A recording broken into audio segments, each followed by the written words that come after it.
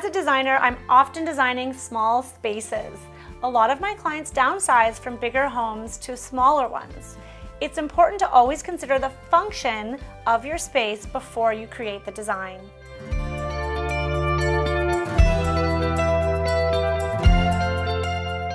When you're designing small spaces, you need to think about the use.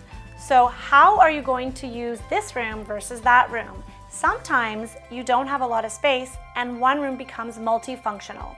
When you're designing small spaces, multifunctional rooms are pretty common. In this space, my client wanted to have a home office to run their small business from home, but also have the option to have guests stay overnight.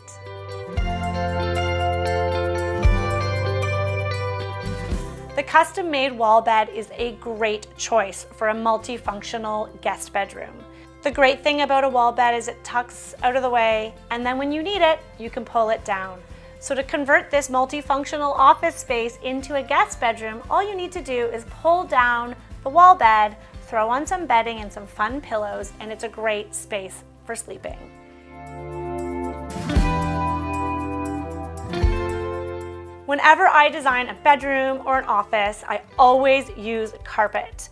Broadloom is a great choice. It is soft underfoot and the noise dampening qualities of carpet make it perfect for a bedroom or an office.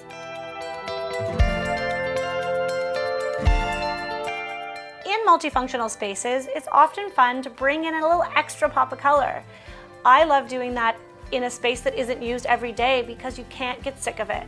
So in this guest bedroom, we did a little bit of purple and pink, which is unexpected and adds a lovely, refreshing pop.